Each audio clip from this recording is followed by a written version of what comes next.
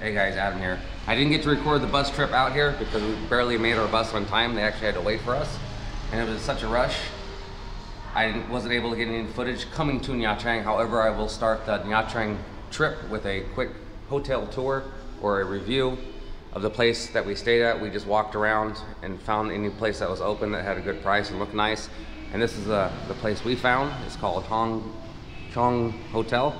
Now it looks like it's essentially just a big house ran by a family. We got in at about 8 p.m. So we shopped around to the couple places. This seemed to look the nicest and it actually had the lowest price too. So first room I'm gonna walk you guys through is the room that I got with myself and my girlfriend. It was just a single bed and it was 250K a night, which is very cheap. I'll put that on the screen now. So I'm gonna walk into my room, show you guys my room. It of course has been lived in for one night, so you'll see our stuff laying about. Unlike the hotel in Vung Tau, this one actually has a refrigerator and a television. It still has a standard wardrobe.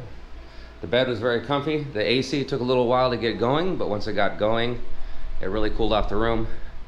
Got a couple windows on the side. The windows don't really go anywhere. This uh, was a non-smoking room, but to be fair, so is the one in Vung Tau. I just happen to have a balcony to smoke off of. It's your standard wet bath. It's pretty large. Uh, soap was provided. Uh, oddly enough, too, toilet paper was provided. The television has all the Vietnamese cable channels, so I was able to watch a few things in English last night before I fell asleep.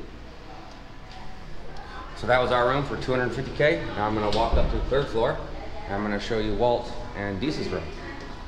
Oh. Okay. You mind if I go back in so I can show it real quick?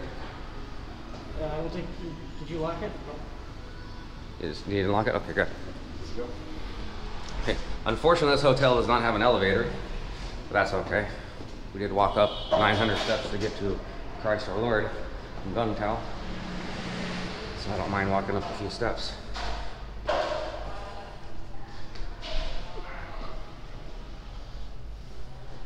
Now this is, was Walt and Deese's room, which they got a double bed, and they paid 350K. I'll put the price on the screen.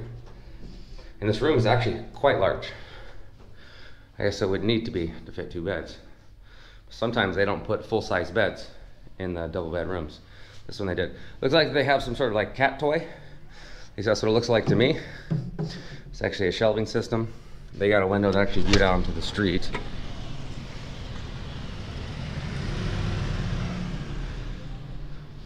This one too is obviously a little dirty because they lived in it for one night.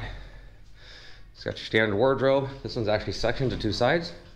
Like go to two people. Refrigerator, small television, pretty nice desk. Let's check out the bathroom right quick. The bathroom about the same size as ours. Their AC also took quite a while to fire up. Other possible amenities of this hotel might include a ping pong table. So I see one sitting here. And there's quite a large rec space right here. It seems to be inactive right now. It might have to do with the fact that tourists haven't really returned that much to Vietnam yet. I'll put a link to the hotel and the address and show it to you on Google Maps right now. It was actually just maybe 100 meters from the coast, which was actually pretty cool because that's where the bus dropped us off. The pros of this hotel are its location. Like I said, it's close to the coast and it was very cheap.